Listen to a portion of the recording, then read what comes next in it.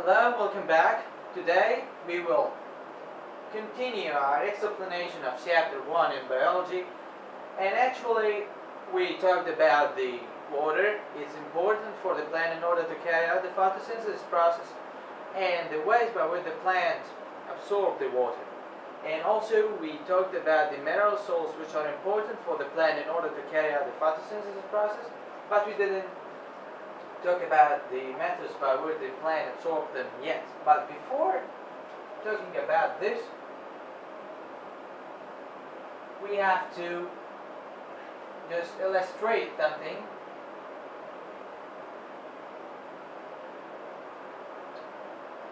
Before talking about the methods by which the plant absorbs the mineral salts, we want to draw the way which the water or the route which the water take in order to reach to the center of the stem of the plant. So first we will draw the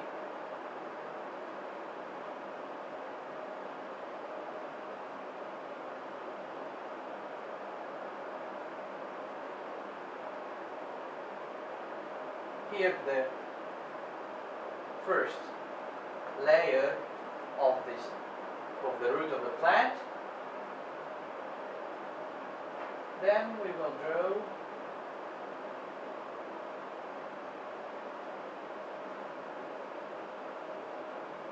okay and like this here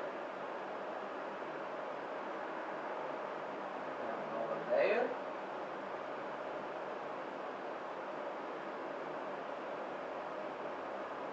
okay then here we have another cover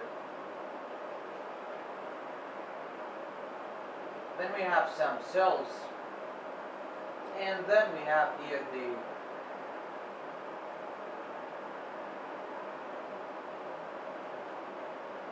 down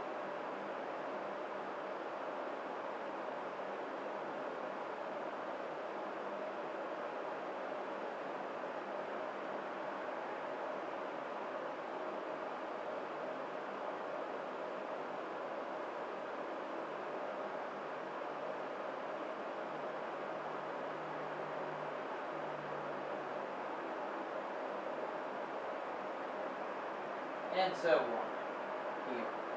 The cells here we have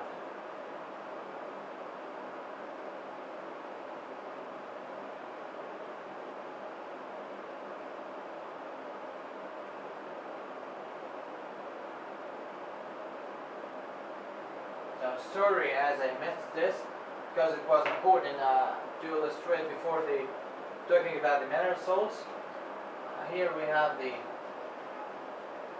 cells containing sap vacuoles and uh, the, of course, the chloroplasts in this way like this.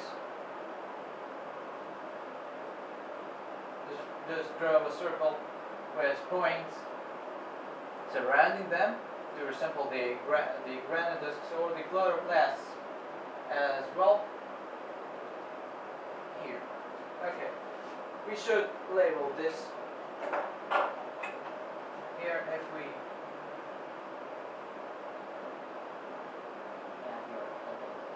okay. Here we have the root here.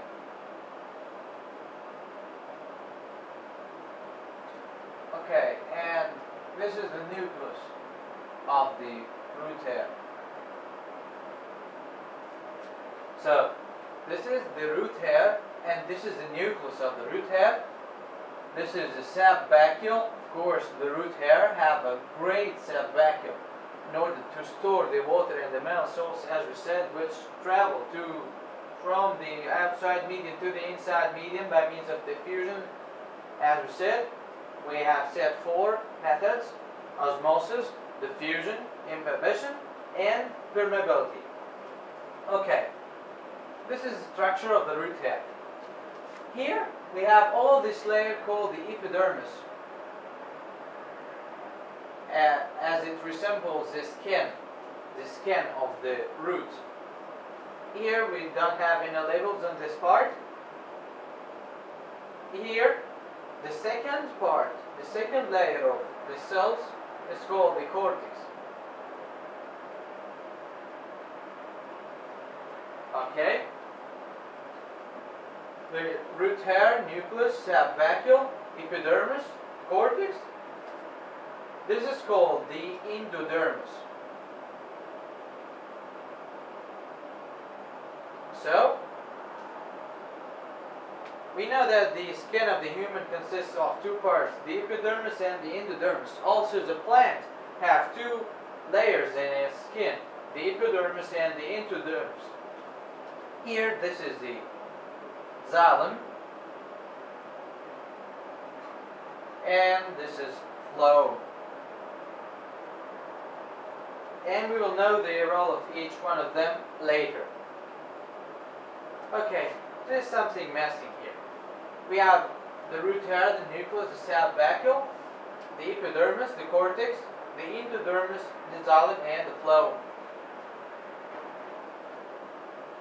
Okay, we have the most important part here in this drawing is the, the water. We have already drawn this figure in order to illustrate the passage of water or the water flow through the root here or the root in order to reach to the center of the stem which is the xylem. Here those, those are xylem. Okay, we will just write here the water flow direction. And we will let water enter from here also.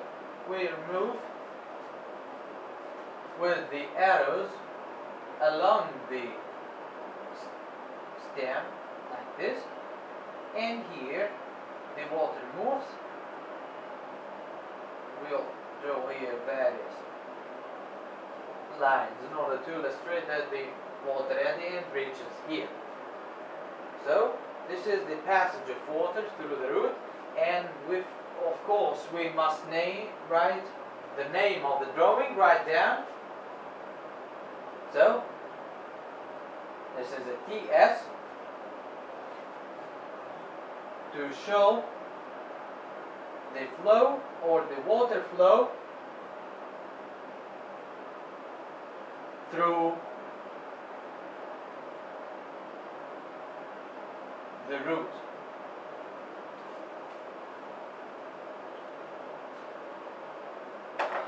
And as a, as an end for this episode, we must illustrate the meaning of the TS. Alright, I'll read this.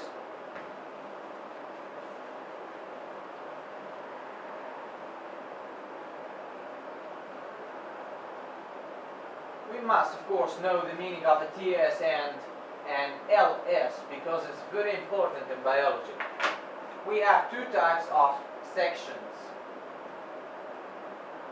If you want to examine, for example, a stem of a plant, alright, the stem would look like this. Of course, this is a stem.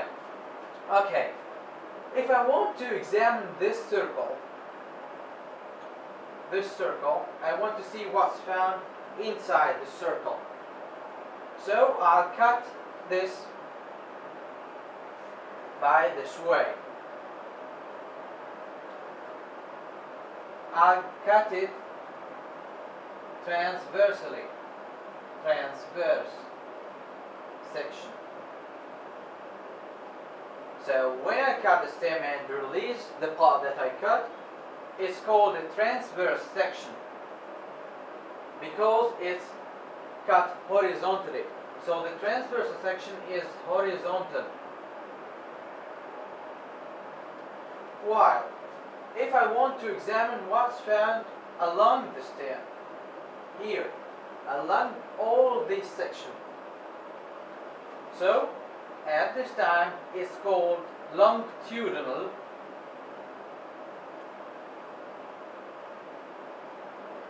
section. is obvious from the word longitudinal that it's got along the stem. and this one is cut vertically.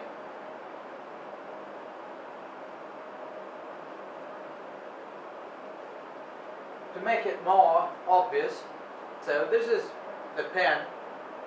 If I look at the pen from this point, this is the transverse section. And if I cut the pen longitudinally along it, I'll see the core of the pen. And the core of the pen will appear through the longitudinal section. So this is the end of our lesson today. The next time we will talk about the methods by which the plant absorbs the essential mineral salts. And that's it for today. And see you next time. Thanks for watching.